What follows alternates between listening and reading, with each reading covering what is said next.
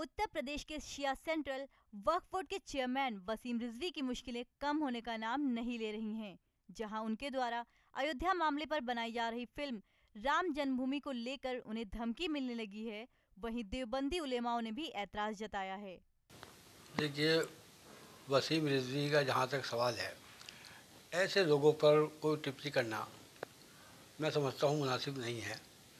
लेकिन हाँ इतना ज़रूर है कि वसीम रिजवी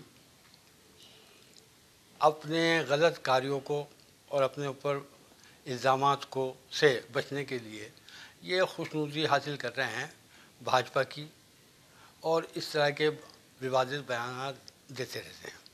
अब जैसे ये बाबरी मस्जिद राम जन्मभूमि पर फ़िल्म बनाने की बात आई है सामने, मैं समझता हूँ ऐसे वक्त में इस तरह की फ़िल्में बनाना देश के माहौल को ख़राब करना है।